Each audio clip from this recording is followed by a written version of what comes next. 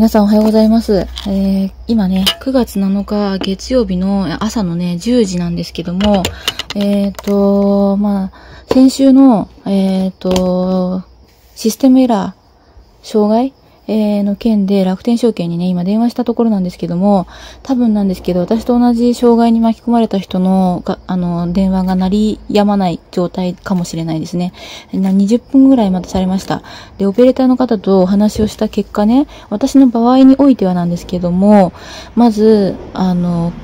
差し値の価格訂正が、えー、できなかった件については、えっ、ー、と、機械損失っていうのに当たるらしくて、例えばログインできないとか、ボタンが正常に押せないとか、そういうのに関しては、あのー、規定によって楽天証券は責任を負わないらしいです。ただ、正常に、えー、注文が執行された、えー、ものについては、えっ、ー、と、その金額、うーんで、なんかうまいこと約定しなかった場合とか、そういうのはなんか対応の対象になるかもしれないって言われましたね。あの、機械損失っていうのは初めて聞いたんですけども、そもそもその差し値の注文を変更するっていうのに、訂正っていうね、ボタンから入って、て、差し値の金額をね、入力し直した上で、あの、確定っていうボタンを押したくても、そのボタンを押すと赤い字のエラーで、このご注文受けできませんっていう風に出るので、それ自体が私はトラブルじゃないかと思ってるんですけど、それは、あの、楽天証券だと、機械損失っていうのに当たるらしくて、保証の対象ではないそうです。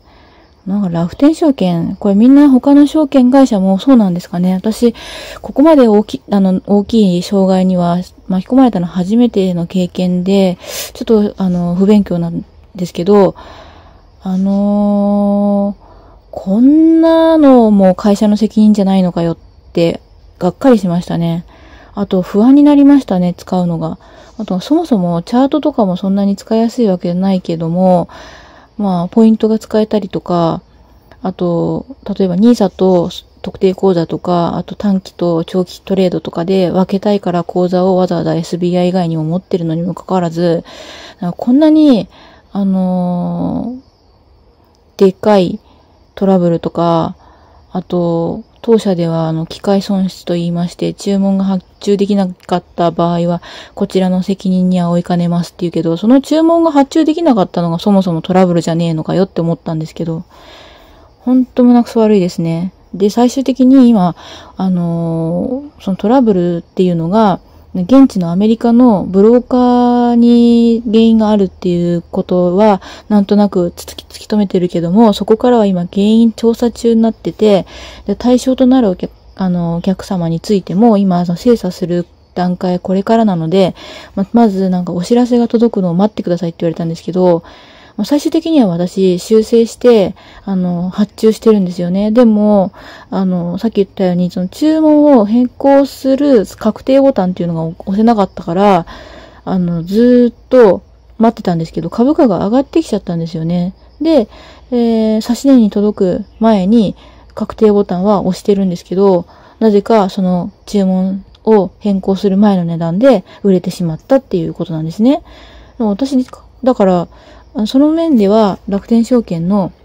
あのー、注文が正常に執行できずに約定してしまった場合に含まれると思うんですけどもね。まあ、本当にあの、オペレーターの人にも言ったんですけど、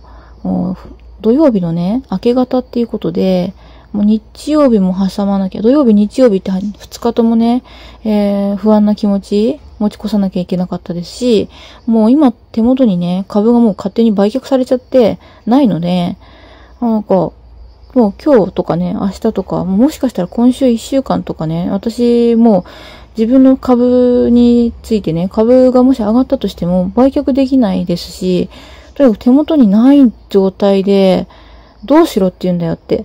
この分保証でもしてくれるのかって逆に聞きたいですよね。本当に楽天証券最悪です。